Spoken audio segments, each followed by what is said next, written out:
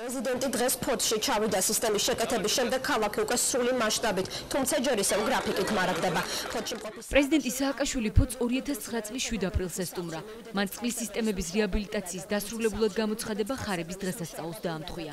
პრეზიდენტმა ლორენცო გოგელიძის ოჯახში ონკანი საკუთარი ხელით მოუშვა და ფოთელებს მალე 24 საათიან წყალმომარაგებასაც დაპირდა. ფოთისთვის ეს არის ძალიან დიდი საქმე, წყალი და ჩვენ მოახერხეთ ჩვენ მეგობრებთან ერთად პრაქტიკულად მართლაც მეც რო არ მეგონა ისეთ რაღაც ხელოსნოთ პრაქტიკულად ორდეჟი ერთხელ მოდიოდა და როგორც იყო? რადგანის ყოველდღიარი ეხა გადავდიოთ 24 საათიან გრაფიკზე ამ დღეებში ამ დღეებში გადავალთ 24 საათიან ხელისუფლებამ ფოჩი რეაბილიტაციის დაწყება 2006 წლის თვითმმართველობის არჩევნებს დაამთხვია. პროექტის განხორციელება მუნიციპალური განვითარების ფონდს დაევალა პროექტის ღირებულება 27 მილიონი ლარია, საიდანაც 18 მილიონი ფონდ 1000 წლეულის გამოწვევა საქართველოს, შვედეთის საერთაშორისო განვითარების სააგენტოსა და საქართველოს მთავრობის მიერ გრანტის სახით გაცემული თანხაა. 5 მილიონი ნახევარი ლარი კი ევროპის რეკონსტრუქციისა და განვითარების ბანკის ცესხი. დანარჩენი 3 მილიონი ნახევარი ფოთის ადგილობრივმა თვითმმართველობამ გაიღო. სამუშაოების განხორციელება ტენდერში გამარჯვებულ შეპესე ნიუ ენერჯის და შეპესე სერვის დაევალათ. კონტრაქტის დეტალები მუნიციპალური განვითარების ფონდმა გაასაიდუმლოვა. ჩვენს მიერ მოპოვებული ინფორმაციით კი 27 მილიონი ლარი შემდეგ სამუშაოებს უნდა მოხმარებოდა. ახალი სათავე ნაგებობის მშენებლობა ღროულის წყაროზე და ნოსირის ჰიდროკვანტთან დამაკავშირებელი 47 კილომეტრიანი მაგისტრალის გაყვანა. ასევე უნდა მომხდარიყო ქალაქის შიდაქსელის რეაბილიტაცია და გამრიცხველიანებაც. ამ სამუშაოების დასრულება 2009 წლის ივლისში იგეგმებოდა. სწორედ ამ დროს უნდა მიეღო ფოც 24 საათიანი სასმელი წყალი. ამასვე ადასტურებს პარლამენტის ვებგვერდზე არსებული ინფორმაცია. ფოთის წყალმომარაგების პროექტისათვის ბანკი გამოყოფს 2 მილიონ ნახევარ ევროს, რომელიც მიზნად ისახავს ქალაქ ფოთის 24 საათიანი წყალმომარაგების უზრუნველყოფას. პროექტის დასრულების სავარაუდო დრო 2009 წლის 31 ივლისია. ასეთივე დაპირებები მიიღეს ფოთელებმა მიხეილ სააკაშვილისგან ორი თვით ადრე, თუმცა დღეს რეალობა სულ სხვაა. ჩვენ დავინტერესდით იღებს თუ არა მოსახლეობა რეაბილიტაციის შემდეგ დაპირებულ 24 საათიან წყალს და ჩავატარეთ გამოკითხვა. საერთოდ წყალი არ არის. რატო არ არის? არ ვიცი მე რატო არ არის, არ არის. ზვიადის ომის შემდეგ წყალი ჩვენსკენ არ წამოსულა. ორ დღეში ერთჯერ არის. ერთი საათის განმავლობაში ყოველ დასახადი 54 კაპიკი არის. ერთი ოჯახი მაგალითად ყველა პატარა 15 ლარზე. ყოველ მეორე დღეს მოდის. რამდენიმე საათი, იმიტომ რომ სარეაბილიტაციო სამუშაოები არ არის თვითონ ადგილობრივი შიდაქსელის დასაქმება. გადასახადი გვაქვს იგივე, რასაც იხდიან 24 საათის წამომარაგება. სადა 24-იან, ყოველ მეორე დღეს ახლა 3 დღეა სულ არ ყოფილა. ადგილობრივი ხელისუფლება პროექტის არაეფექტურობას თანხის სიმცირეს უკავშირებს.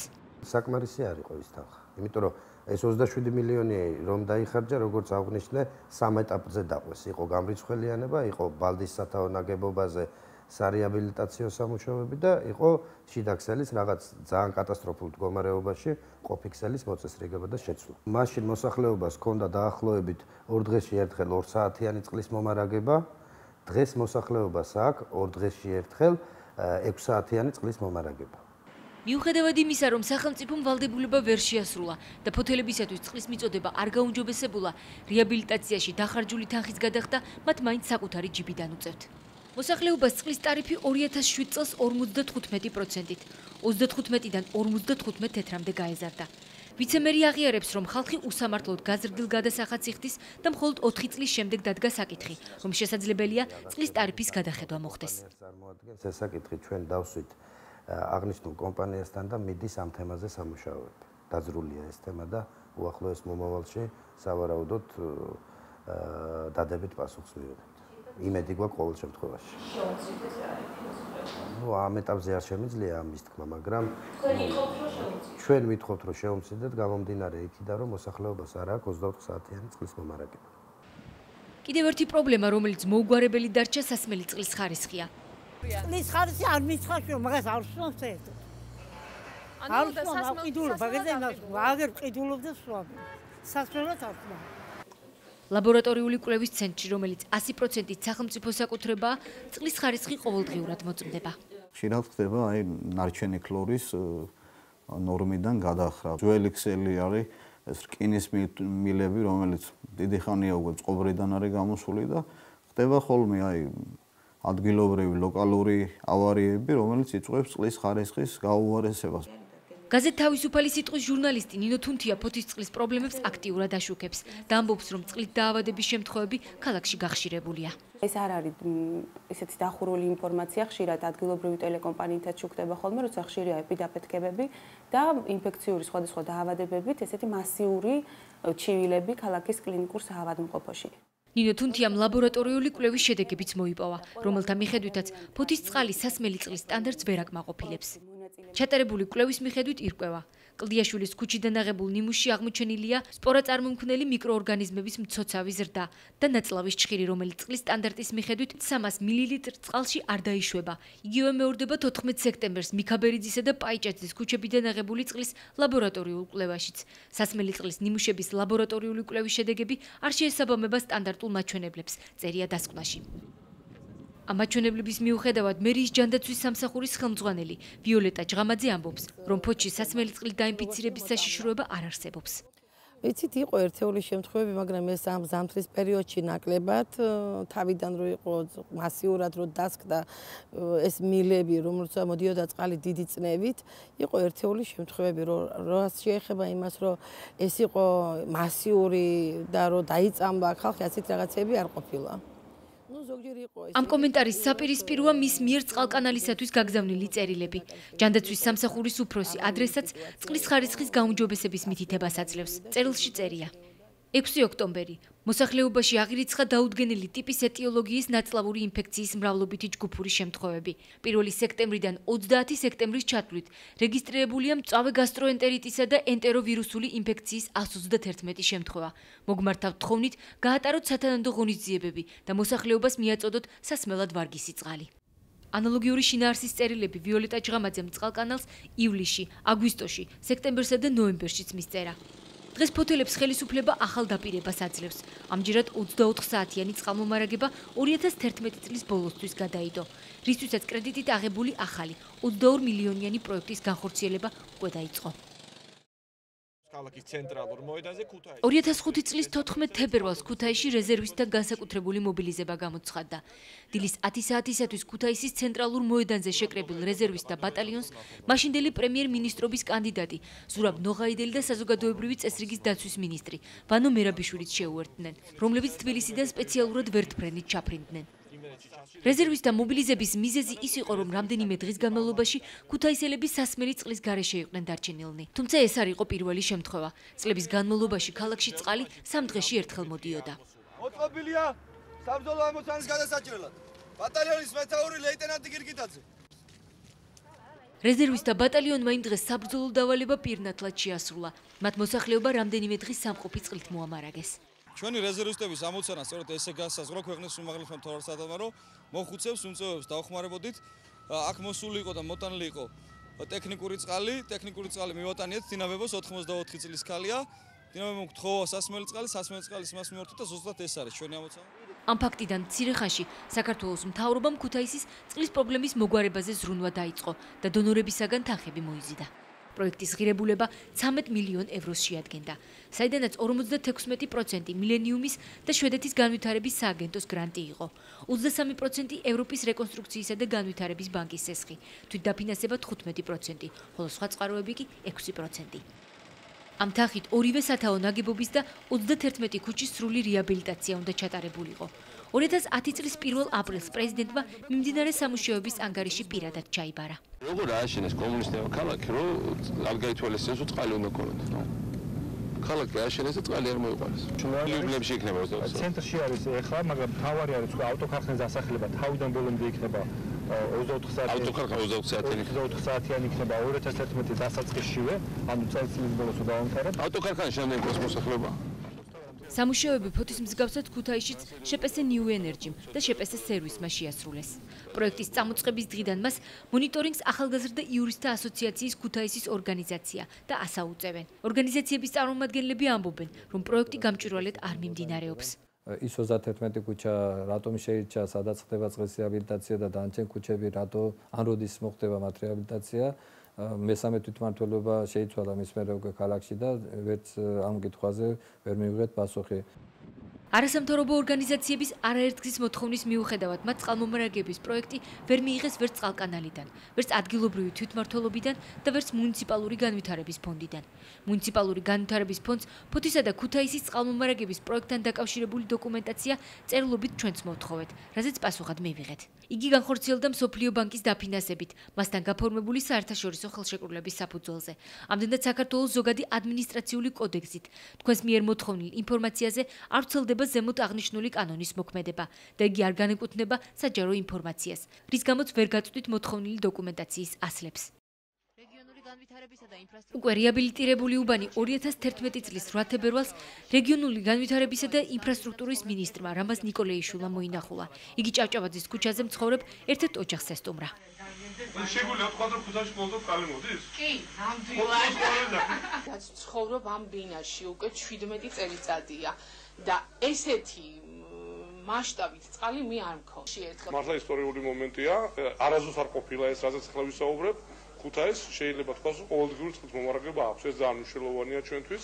ჩვენ ამისკენ მივდიოდით. კონკრეტული ღონისძიებები იყო დაგეგმილი, რომელიც ჩვენ შევასრულეთ. დღეს შეგვიძლია ქუთაისს უთხრათ, რომ და იციან კიდეც, რომ მათ 24 საათის განმავლობაში არა, თუმცა გარკვეული გრაფიკით ყოველდღურად წყალი მოეწოდებოდა. ჭავჭავაძის ქუჩაზე ცხოვრობს ცისანა მჭედლიძეც. წყალი მასთანაც მუდმივად მოდის, თუმცა ეგრეთ წოდებული ბაკიდან. წყალი როცა მოვიდა სამი დღის უკან, ავიღე მატორით. მატორი მაქვს ესე იგი წყლისისა და ბაკი მიდგას მეოთხე სართულზე. ავიყვანე წყალი იქამდე და იქიდან ახლა ბაკიდან მოდის წყალი ამაში. ჩაულებია. და გარედან შემოსული წყალი არ მოდის. სამ დღეში ერთხელ. სამ დღეში ერთხელ და ისიც ხან მოდის ძალიან დაბალი წნევით, ასე რომ ვერც ამაქვს ბაკი რო გავავსო და ხან მოდის ისეთი რომ სამ დღეში ერთხელ, ოთხ დღეში ერთხელ მიწევს რომ ბაკს ვავსებ. ორტონიანი ბაკი მაქვს და იმას მე ვიზოგო მთელი დღის განმავლობაში. დაპირება რა იყო? დაპირება ის იყო რომ 24 საათიანი უნდა ყოფილიყო და ვიხდი 24 საათიანის გრაფიკით. დაბალი წნევის გამო ჭავჭავაძის ქუჩაზე წყალი მაღალ სართულებზე ვერ ადის. მოსახლეობას წყლის მისაღებად საქაჩი მოწყობილობების გამოყენება უწევს. ასეთივე პრობლემაა სხვა ქუჩებზეც, სადაც რეაბილიტაცია განხორციელდა. მრავალსართულიანი სახლების სახურავებიდან წყლის ინდივიდუალური რეზერვუარები ჯერაც არ გამქრალა. იმ 31 ქუჩის ჩამონათვალში, რომელსაც რეაბილიტაცია უნდა ჩატარებოდა, მოხდა გელათის ქუჩაც. პროექტის მიხედვით ქუჩის სრული რეაბილიტაცია უნდა მომხდარიყო. წყალი ყოველს უკვე საკუთარ ეზოში უნდა ქონოდა, თუმცა სამუშაოები დღესაც არ დაწყებულა. მოსახლეობა წყალს კვლავ შოთას წყაროდან იღებს. დაახლოებით 100 ოჯახი გელათის ქუჩის და კლდიაშვილის ქუჩის ცხოვრებლები არის უწყლოდ. ჯებირება იყო 2009 წლის სექტემბრის თვეში ყველა ოჯახი მიიღებდა წყალს. საერთოდ არ ყოფილა არასდროს აქ წყალი. წყლის რეაბილიტაციის პროექტის მონიტორინგს არასამთავრობო ორგანიზაცია ახალი სამოქალაქო აზროვნება ფრიდრიხ ებერტის ფონდის დაფინანსებით ახორციელებს. 2007 წელს გონებოდან 2009 წელს იქნება წყალი.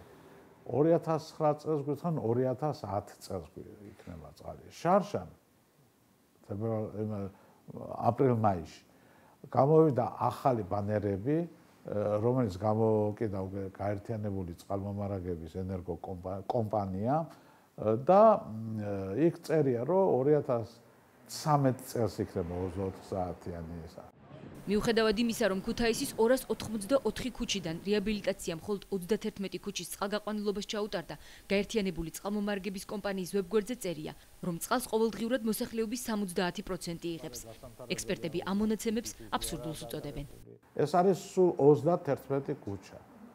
ეგ თვითონ ქუჩების რაოდენობის 8% არის. მოსახლეობის მაქსიმუმ შეიძლება იყოს 10%. ამდენად როგორ შეიძლება ვთქვათ რომ 70%-ს გაუმჯობეს და წყლის მდგომარეობა ხელისუფლების განცხადების მიუხედავად რომ ქუთაისის მოსახლეობის დიდ ნაწილს სასმელი წყლის მიწოდება გაუმჯობეს და საპირისპირო დასკვნა დადო არასამთავრობო ორგანიზაცია ასამ იმ ქუჩებზე რომელთა რეაბილიტაცია 2010 წლის 1 აპრილს დამთავრებულად გამოცხადდა ასამ შესრულებული სამუშაოები 13 აგვისტოს შეამოწმა ასლანიკაშვილის რუას პეტრე იბერის ბაგრატის ქუჩები. წყალი ორ დღეში ერთხელ ისიც 4 საათით მოდის. მაღალ ნიშნულზე მცხოვრები აბონენტები ვერ იღებენ წყალს. დავითაშვილის ჩეხოვის იოსელიანისა და ზუგდიდის ქუჩები. წყალი მიეწოდება ორ დღეში ერთხელ. აბონენტები აღნიშნავენ, რომ წყალმომარაგების ხარისხი გაუარესდა. ბარნოვის ქუჩა წყალი ორ დღეში ერთხელ 4 საათამდე ხანგრძლივობით მიეწოდება. როდის იქნება 24 საათიანი წყალი ამ კითხვაზე ქუთაისელები რეაბილიტაციის დაწყების დღიდან სხვადასხვა პასუხს იღებენ. ხელისუფლების მხრიდან ბოლო განცხადების მიხედვით ქუთაის მუდმივი წყალი 2013 წელს უნდა კონდეს. აბაშიც რაიონის სასმელი წყლით სოფელ მაიდანიდან მარაგდება. წყლის სისტემა აქ დაახლოებით 50 წლის წინ აშენდა და ასბესტის 12 კილომეტრიანი მილები ჩაიდო. თუმცა ასბესტი მშენებლობის თანამედროვე სტანდარტს აღარ შეესაბამება და მისი გამოყენება სოფლიოს მრავალ ქვეყანაში აკრძალეს. 2004 წელს პეკინში სოციალური დაცვის საერთაშორისო ასოციაციამ ასბესტის შესახებ დეკლარაცია მიიღო, რომელიც ასბესტის ან მისი შემცველი მასალების წარმოებას, ვაჭრობასა და გამოყენებას კრძალავს. ასბესტის ჯანმრთელობისათვის მავნე ნივთიერებაა, მისი ბოჭკოების ორგანიზმში მოხვედრა იწვევს სიმსივნურ დაავადებებს.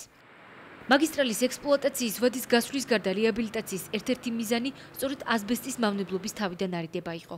ტენდერში გამარჯვებულმა მშენებელი 80-მა ასბესტის მილების პარალელურად მეორე პლასმასის მაგისტრალი გაიყვანა. თუმცა 500 მმ-იანი მილების ნაცვლად ახალი პროექტით 280 მმ-იანი მილები ჩაიდო, რამაც მისაწოდებელი წყლის რაოდენობა გაანახევრა და აბაშის დიდი ნაწილი წყლის გარეშე დარჩა. დღეს ახალ მაგისტრალთან დაკავშირებულ პრობლემებზე ადგილობრივი ხელისუფლები და მხოლოდ საკრებულოს ოპოზიციური ფრაქციის თავმჯდომარე გელა თოფურია საუბრობს. თავიდან აპირებდნენ როგორც ვიცი 500 მმ-იანის, მაგრამ შემდგომ არ ვიცი ვის მოვიდა ეს აზრა და შედეგი მივიღეთ სავალალო, რომ მოსახლეობას წყალი ფაქტიურად ვერ მიეწოდა ახალი მაგისტრალით. ეს მოხდა გასული წლის აგვისტოში, როცა შევიდა ექსპლუატაციაში და შემდგომ როცა ფაქტიურად მოსახლეობისთვის მიწოდება იყო ნულის ტოლი, ამიტომ იძულებული გახდნენ რომ ჩაერთო ძველი მაგისტრალი. დღეს აბაშას წყალი ორივე მილიდან ერთდროულად მიეწოდება, რაც იმას ნიშნავს, რომ პროექტის მიზანი ვერ გამართლდა და ასბესტის მავნებლობისგან მოსახლეობა დაცული კვლავაც არ არის. ჩვენ დავინტერესდით, რატომ ჩავარდა პროექტი და როდემდე მოუწევთ აბაშელებს ისევ ჯანმრთელობისათვის საშიში წყლის დალევა. ამ პრობლემის გარკვევას ადგილობრივი ხელისუფლებისგან შევეცადეთ, თუმცა ოფიციალურ კომენტარზე ყველამ უარი განაცხადა. არა ვარ თანახმარ, მე ჩამწერ, რა უნდა ჩამწერო ჩემი ინტერვიუ თქვენთან მე გელაპარაკები გეუბნები, ჩაწერეთ ინტერვიუს რესპუბლიკის მომრაგების სპეციალისტები არიან. შეიძლება ჩემი დაბარაკი იყოს რეგვარი ბიციგური. ეს იყო იმითო დაგეთები რომ წყალმომარაგება გაუმჯობესებულიყო რაიონში და ყოფილიყო ნორმალურ ვითარებაში. წყლის მომარაგების მდგომარეობა დღეს აბაშის რაიონში ასე თუ ისე ნორმალურია. ამით, მაგრამ იმ წნევით არ მოდის წყალი, რომ იცი გაკეტა და მის ბიზნესები არის ახსნილი. ჩვენ მოვიპოვეთ გურამ გუნავას მიერ რეგიონული განვითარებისა და ინფრასტრუქტურის სამინისტროსადმი მიწერილი წერილი, სადაც აბაშის გამგებელი მაგისტრალის პრობლემებზე მიუთითებს. ძველი მაგისტრალიდან ახალზე გადართვის დროს თავი იჩინა პრობლემებმა. გაუარესდა წყლის დებეტი და აწევის სიმაღლე, რის გამოც ადგილობრივი ხელმძღვანელობა იძულებული შეიქმნა მოსახლეობაზე წყალი მიეწოდებინა როგორც ახალი, ასევე ძველი მაგისტრალით. პროექტთან დაკავშირებულ საკითხებზე დღეს არც ის კომპანია საუბრობს, რომელმაც სამუშაოები შეასრულა. მშენებელი 80-ის ხელმძღვანელი ვალერი ბუცხრიკიძე სატელეფონო საუბარში ამბობს, რომ მისი კომპანია პროექტზე პასუხისმგებელი არ არის და მხოლოდ სამუშაოები შეასრულა. რას პროექტია იზრდებს, ხალბატონო? ვიღაცას ორ თვალები აჩქები ჭირდება ეთყობა. იქ არის ფიზიკურად ტრუბას და კიდე ყოე მიწაში დევს და იქვე არის. ჩანს. მე უფროსი ვარ, პრარაბი კი არა ვარ. პროექტი რატომ ვერ უზრუნველყო ახალმა მაგისტრალმა აბაშის წყლით მომარაგება და რატომ გახდა აუცილებელი კვლავ ასბესტის წყალსადენის ექსპლუატაციაში გაშვება. ხელისუფლებისაგან განსხვავებით ამ კითხვაზე პასუხი სოფელ მაიდანის მოსახლეობას აქვს სადაც ცენტრალური მაგისტრალი გადის. ვინც გააკეთა გეგმა შეადგინა არასურათად აგეგმეს რა არის ფიზიკურად წყლის რაოდენობა მეტი იყო და გაანახულეს 500-იანი ტრუბა იყო გავუშენ 200-იანი არ იყო რაიონს არ იყო წყალი. ახლა ერთში წყალტრუბაში წყალი მიდის და უტვირთავად, მეორეშიც და უტვირთავად. ახალმა წყალსადენმა პრობლემები სოფელ მაიდანსაც შეუქმნა, საიდანაც წყალი სათავეს იღებს. მაიდანის მაცხოვრებლები წლების განმავლობაში სასმელ წყალს ასბესტის მილიდან იღებდნენ, თუმცა ახალი წყალსადენის გაყვანის შემდეგ მათ ამ წყლით სარგებლობა აუკრძალეს. ძველი ტრიბიდან კი სარგებლობდა ხალხი, შეყვანილი ვისაც ყავდა დედა, სარგებლობდნენ იმ წყალიდან. ხო და მე ეს ახალი რო ჩაყარენ მე შეუწყვეტენ და ყველაფერი და წვალებით ახლა ჭაი თავზეთ განიანიან და ჭიდან ამოაქვენ წყალი. ასე წვალებით ვარ გატანჯული დედა არ ძველი ტრუბიდან არც ახალი ტრუბიდან უარი შემოგითვალა ყველანაირად თავრობა. ხელი არ ახროთო შევკვირდეთ წყალი გექნებიან, ორივე ტრუბაში იქნება წყალიო და არა გვაქვს წყალი, ვართ უწყლოთ. წვარო მოდის ჭაში წყალი აღრეული არ დაილევა, ზაფხულში ჭაში წყალი არ გვაქვს. მიუხედავად დაპირებებისა და რეაბილიტაციის ჩატარებისა, ამ რეგიონებში წყლის პრობლემა ჯერ კიდევ არ მოგვარებულა.